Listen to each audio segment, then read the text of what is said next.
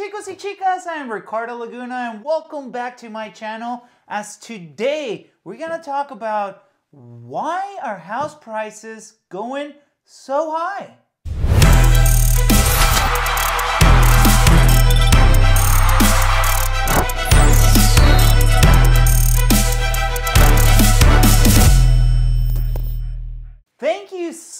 Much for sharing your valuable time to watch this YouTube video and it will mean the world if you guys can share as well as if you guys can hit that like button because by you guys hitting that like button it's gonna help this YouTube video to get out there so that more people can learn from it. And if you guys haven't subscribed, please subscribe as I aim to have new episodes every Monday, Wednesdays, and Fridays. And let's connect with my social media. Now that we got that out of the way, you guys might be asking yourself, why are home prices so high? Well, here are my thoughts why I think those prices on those homes are too high. One of the reasons is because interest rates are so low. And demand right now is an all-time high. First thing you have to understand about demand is the law of demand. Change in demand. And we have a very low supply of homes for sale. Plus, forbearance has been extended. Most states are not allowing any tenants to get evicted. And as of now, foreclosures are on a pause. So I like to think home buyers are buying mortgages, not homes. Come on, people, let's pay attention.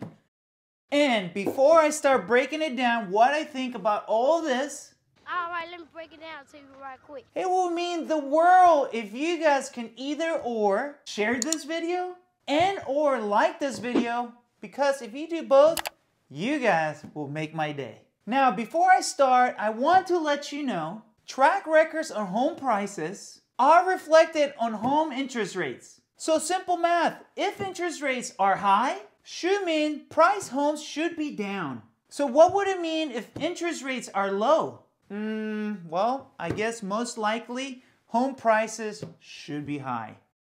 Now, I know most of you guys out there are hearing their interest rates are going up and you guys are freaking out, man. I'm freaking out, man. You are freaking out, man. But wait a second. Right now, we have interest rates are lower than 4%.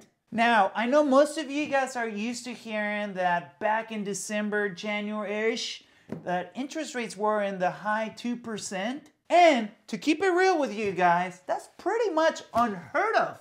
Why did Cause you I'm do this keeping to it your real. Cause I'm keeping it real. Cause I'm keeping it. Cause I'm keeping it real. So having a 3% interest rate is still an amazing interest rate. So I'm pretty sure if you guys tell your grandparents that people on today's market are people qualifying the 3% interest rate, they will be, I don't believe you. what the heck?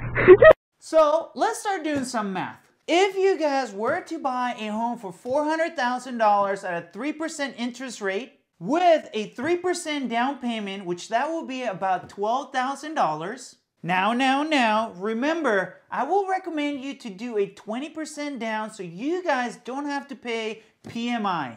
And here is a video about PMI, just in case if you guys don't know what PMI means. So back to the story, guys. If you were hypothetically, as I recommend most of you guys, you put 20% down on a $400,000 home, your down payment is going to be around $80,000. Now, now, I know $80,000 sounds like a lot of money, but trust me, you guys will thank me in the long run because that will save you tons of money. Now, now, I know most of you guys want to do the lowest payment possible that you guys might be able to qualify. So, we're to go with the easiest case scenario to keep the crowd like you guys happy.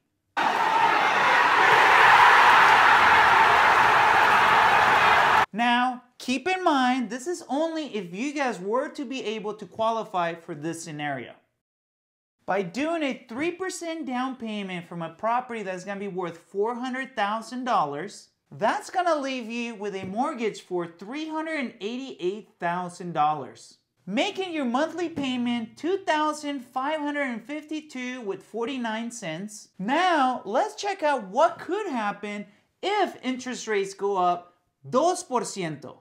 a home that you're gonna be buying for $400,000 at 5% interest rate, your monthly payment will be $2,000, 499 with 53 cents, making a difference each month for $447 with 3 cents. Making a difference for the whole year, $5,364 with 48 cents a year. Making the difference for the whole loan term of the loan, which will be 30 years, that total is $160,934 with 4 cents. So that's just a peace of mind if you guys were to wait and interest rates climb up 2%. And that is if you guys don't buy on today's market. And yes, yes, I have heard that today's market is priced a little too high. So if you were to ask me, you guys might be losing if you can get in on today's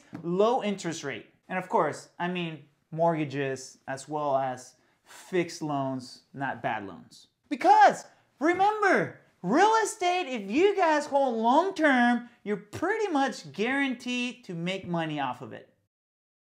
And to continue with the fun facts, if you guys purchase a home right now, every month you'll continue paying down, which means that you're gonna be owing less and less and less, making it a step closer from being mortgage free. Which I like to think none of us know what the future can hold for us.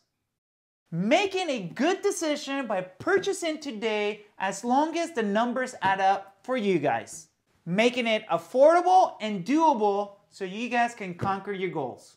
Now, if you guys are asking me, is there any guidelines for us to know how home prices will pin out? Well, there is kind of somewhat, but rule of thumb is, and it's not guarantee, but I guess traditionally, when interest rates go up by 1%, give or take, home prices will drop about 11%. So, like most economy and traditionally, low supply, higher demand equals more competition. And as of today, we are looking like low supply, high demand, which means a lot of people are overbidding. Okay, people, here's how this is gonna work. I have an apple here. The highest bidder's going home with this. I want all bids in in the next two minutes, then we're closing it. Bidding starts at $5. Feeling pretty confident there, huh? I mean, don't you $10. He said starting at five. 15. Is this a new apple? Yeah, just listed. I'm pre-qualified. I- I'll pay cash. I got cash. 20, uh, 30, 40. No, no, just make it 45. Is it even worth that? 50. I don't know. Please, this is the eighth apple I've tried to buy. Could I at least see it up close? Uh, nope, it's an apple. You know what it is. You either want it or you don't. I'll take it for 100.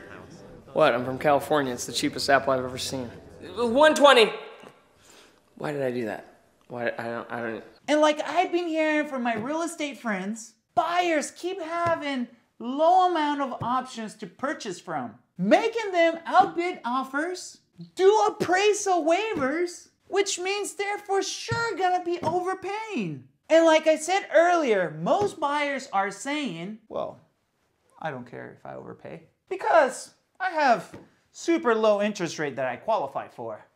So that equals a couple bucks out of my pocket every month with today's low interest rate. Now, this could be another reason why the buyers are saying, I don't care if I overpay. Mm, well, that could be because we don't know how much longer forbearance is going to continue going, which that would mean not much more real estate inventory will be popping out, making it a slower pace for builders, flippers, renters, remodels, etc. Since we are seeing just about everything on a pause. Now, if I was to put myself as a seller, yes, I might sell my property at a high price, but now where am I gonna live at? Because most likely, if they have to purchase another property, they will most likely will have to compete with tons of people and overpay like other buyers that we have right now. So selling your home on a higher price,